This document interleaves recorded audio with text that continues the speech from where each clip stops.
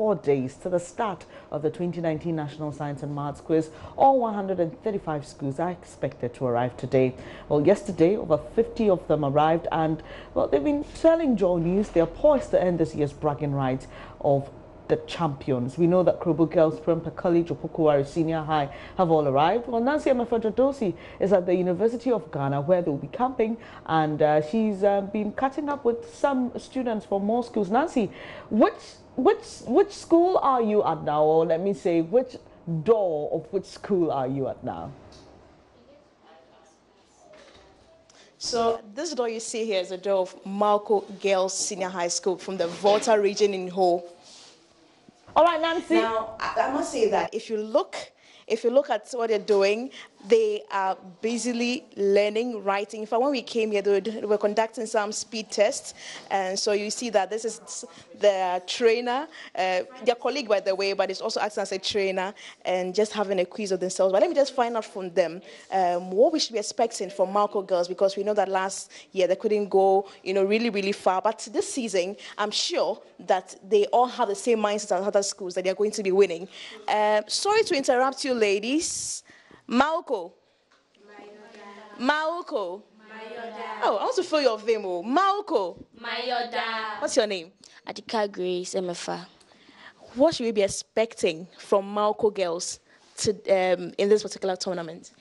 Okay, this time around we want nothing less than quarterfinals. Yeah. What is than quarterfinals? Which schools are you seeking to take revenge on and beat them, just to show their will? I can't tell, but we want to do their best. Hmm. What about you? I see that you are busily calculating and all of that. What is going through your head ahead of Monday, uh, the balloting and you know the entire competition? What should you be expecting, and what's different are you bringing on board? Okay, over the years, our school has not really been doing well in this, except so this year we want to make a difference. We want to leave a mark. We want to show the world that we can also go far. So we are trying our best to get somewhere. Mm. And for you, what's your name? Love McAfee. How is the training going? How difficult has it been for you? And how exciting, if there is, has it been? So far, so good. It has been well. I see that during the speed test, you were really quick and, and fast. Yeah. So you, are, you have you're hiding a lot of things under your sleeves, I guess. but let me speak to their, their colleague who is also doubling as a trainer. I see that you are here to support them. Uh, you're reading out questions and the answers to them. How really, how exciting is it for you? And what, as from what you've been doing so far with them, do you think that they are poised to take the crown this season? Yes, yes, I, I trust them. I believe in them because giving them questions, they are solving them the first 10 seconds, and if they put up the same performance on stage, we'll go far.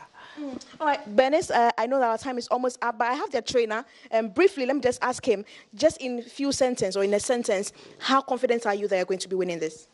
Oh, we trust in the girls. We trust in the girls, and uh, what we are even aiming at is uh, the first girls' school to have even uh, taken the cup. That's what we are even aiming at. Yeah.